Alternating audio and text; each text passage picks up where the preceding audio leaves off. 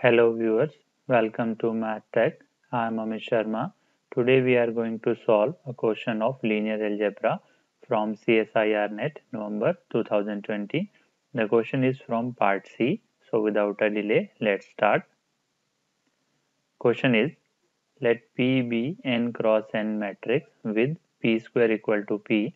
Then which of the following statements are true? Option A trace of p equal to rank of p. Option B, all eigenvalues of p are imaginary. Option C, eigenvalues of p are negative. Option D, trace of p is an integer.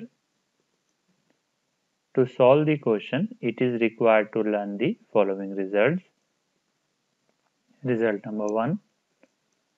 A square matrix A is said to be idempotent matrix if A square equal to A. Result number 2. A non-negative integer R is said to be rank of matrix A, Aij m cross n if number 1 there exists a non-singular submatrix of A of order R. 2.